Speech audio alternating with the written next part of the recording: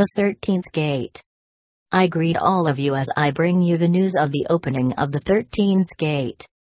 Not much is known about this gate at this time, since it has been sealed for more than 25.000 years. Some people know about the 12 gates of Jerusalem and the 12 tribes of Israel. They are connected in a spiritual way because the group overseeing this process is also the group overseeing the process of the gates. We will explain more about them and the connection later. These 12 gates have a physical place on planet Earth, and an etheric place on planet Earth. These places are what we call the initiation spots of the 12 gates. You can go there etherically or physically, and we will tell you more about where those physical places are, but for now, this is more important. At this point, only the etheric spots have been activated, and now even the 13th gate is open though not yet activated. The gate was opened by a very special friend of mine, Isis. She was the one that closed the 13th gate so long ago because of the misuse and she sealed it with her own seal.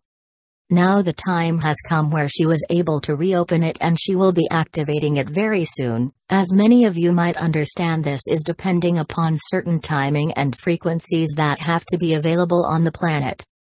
The 12 gates have been used by many people, they were usually high initiates as you call them, and it would take lifetimes to complete one of them.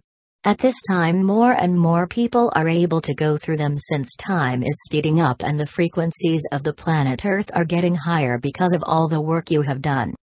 The 12 gates has never been common knowledge, and even at this time, it is mostly known by high initiates although these initiates have been working on helping to get more and more people to go through them in a much faster way than was ever possible.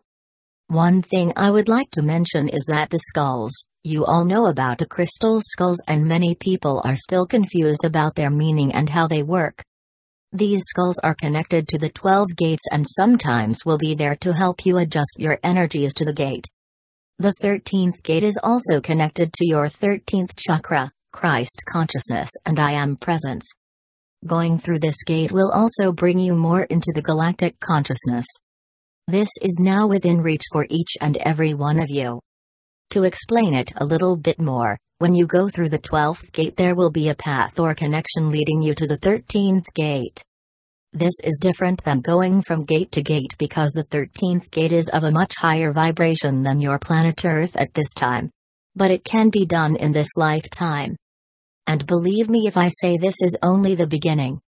Actually, we expect that many of you will be able to go through the 13th gate at a very vast pace and you will be able to reconnect with your Christed self and I am presence fully. The 13th gate for your planet Earth has been opened as well and will be activated next year. We expect many people will be ready at that time to go through the 13th gate, so we will keep you informed about this. Why is the 13th gate so important at this time? It is a big step for planet Earth and the people upon it. These energies have not been available in a long time. You have all been working very hard to bring so much more light to the planet, and at this point, there is enough to actually have the gate open again and offer it to you for further initiation and growth. This gate allows you to grow spiritually so much faster and will bring the ascension of your physical body so much closer in an easier way. That is what it is all about at this time. We all know how much you are looking forward to 2012, and to be honest, some of us think it might be even sooner than this. 2012 or the ascension means many things to us, and one of them is your physical body will have become a diamond body of light. It also means that many people will be able to stay on planet Earth in this diamond body of light and help the many that have not yet understood the importance of ascension for your planet and the rest of the universe your planet Earth is in right now. For now, we tell you that you can ask at any time to be taken to the appropriate gate for you at this time, and there will be many beings standing by to teach and help you go through them. I leave you with love in my heart for all of you and until we meet again very soon. Sananda